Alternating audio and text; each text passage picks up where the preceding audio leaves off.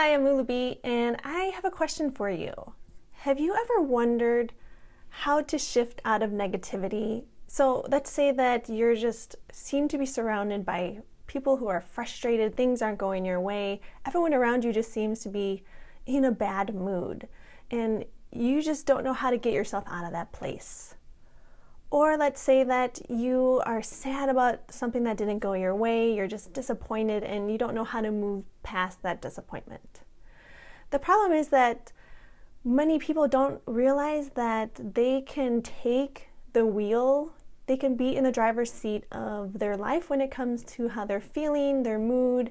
They can be proactive and take steps to feel better. There's actually proven ways to shift out of negativity, but many people don't realize it's it's as simple as it is. A perfect example of this just happened here in my home a couple weeks ago. So my 9-year-old daughter came into my room in the morning and she was lamenting the fact that she didn't get to sleep in. She had to walk the dog that morning and she was just very disappointed. She didn't get to sleep in and there's never a time to sleep in and she was just very sad. And so I decided to tell her about something called the helper's high. I asked her if she wanted to feel better, and she said yes. And so I said, Well, there's something called the helper's high where there's endorphins, there's chemicals that release inside the body when you help someone else. So if you want to help someone else, do something nice for them. And then to share in her lamenting, I said, Well, I got to get up and go downstairs and clean up the kitchen because I always have to clean up the kitchen whenever I come downstairs. And then she left the room and then came up a few minutes later and told me that she had cleaned the kitchen for me. And I, of course, laid on the praise and talked about how proud I am of her, how that is so helpful, that was so kind. And I was just really amazed that she took that learning lesson and imp- applied it.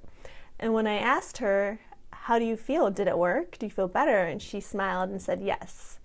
And so the solution to shifting out of negativity is to plan on helping others. There is scientific studies that show areas of the brain light up when you help someone else. So the areas associated with reward and pleasure, that part of the brain is activated when you go out of your way and help someone else. There's also endorphins that release that make you feel good, the same kind that are released when you exercise. And these, these studies have shown that those who volunteer live longer than those who don't. Those who heavily volunteer actually have better physical health than exercising four times a week. So, this helper's high is actually a great solution for when you yourself need a boost in your mood. Some objections to this idea would be that I just can't shift out of this mood myself, I just can't think about this kind of stuff, or I do nice things for other people and they don't even notice, they don't even recognize, they don't say thank you when I hold the door open for them.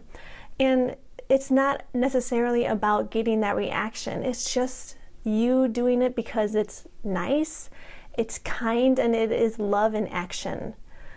So, my challenge for you is to do something nice for someone every day. I know that this might not be something that comes naturally to you. I would suggest even scheduling it in your calendar creating a note somewhere that I'm going to express my gratitude to someone or do something nice. And I have a download for you guys. It is a customizable gratitude in action where you simply add the date and today I blink. What did you do that day to show gratitude in action? It can be something as simple as holding the door for someone or expressing your deep appreciation to, let's say, your parents that you really have been thinking about what they've done for you in life and you just appreciate the solid foundation they gave you. You appreciate your spouse for supporting you emotionally and financially. Start changing your life by sharing love and gratitude with others. I would love it if you shared this with your friends, shared it with your family, because if you can you imagine what it would be like if we all were kinder to one another, if we all just waited that extra second for the person coming in behind us, or just just were more grateful for what is already around us. I would love to know what you are grateful for, what you plan to do today to share this gratitude in action, to show kindness. Become a kindness warrior with me. Comment below how you're going to do that or what you did. I challenge you to just do this for a week. See how it makes a difference in your life, see how it changes. And I promise you'll be amazed because it's it's it's body. It's our body chemistry. We're wired to help.